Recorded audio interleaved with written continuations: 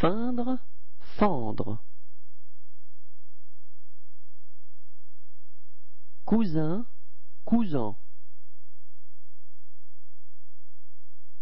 Rein, rang.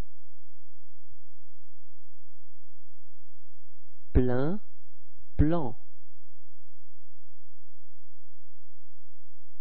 Déteindre, détendre.